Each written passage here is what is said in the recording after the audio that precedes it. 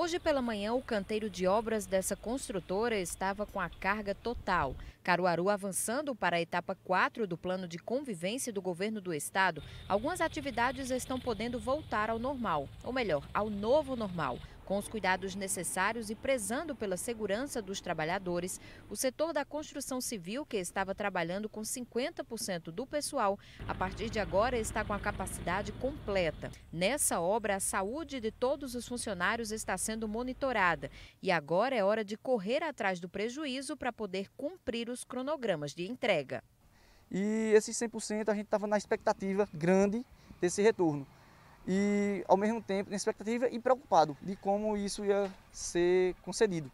Mas seguindo todas as orientações da OMS, do Ministério da Saúde, né, do município, a gente vem colocando em prática e também das políticas que foram criadas justamente para nesse momento, políticas que foram criadas da empresa, para que a gente pudesse é, voltar com segurança. E eles já começam com boas notícias para o segundo semestre. Vai ter contratação no setor.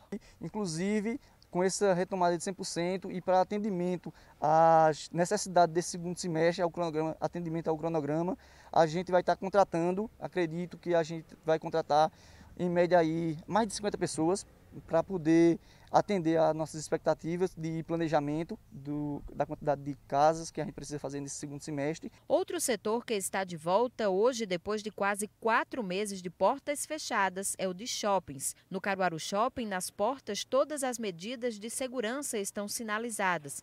Aferição da temperatura dos clientes, uso obrigatório de máscara, distanciamento mínimo de dois metros entre as pessoas, capacidade limitada a 50% do público. E antes mesmo de entrar, as pessoas serão estimuladas a higienizar as mãos nessas pias que foram instaladas. Dentro, na porta de cada loja, foi estabelecida a capacidade máxima de clientes, dentro de cada uma de acordo com o tamanho, além de vários dispositores de álcool em gel nos corredores. A expectativa dos mais de 250 lojistas está grande para a retomada. E hoje, dia 13 de julho, é realmente um, um dia de muito orgulho para nós da administração do Caroro Shop shopping e também dos nossos lojistas. As expectativas são as melhores possíveis. Lógico, dentro desse novo normal, né, com capacidade reduzida de pessoas circulando pelo shopping, dentro das lojas, mas tudo por um bem maior.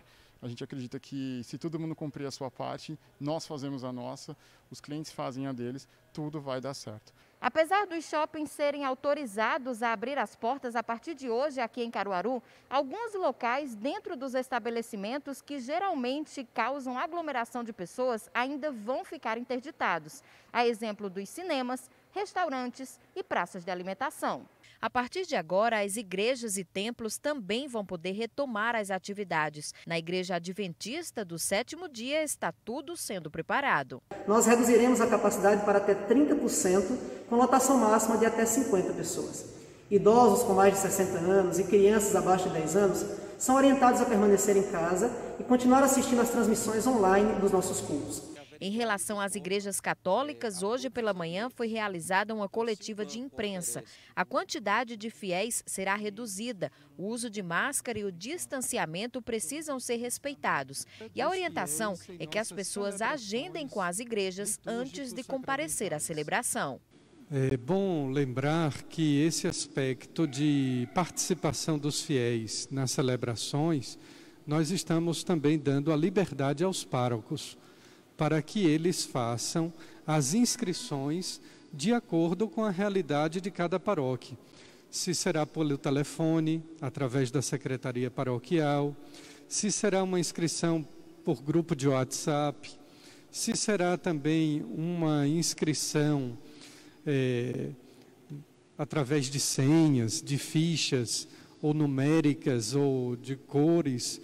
Bem, isso ficará a critério de cada pároco, em cada paróquia, como também o número de celebrações.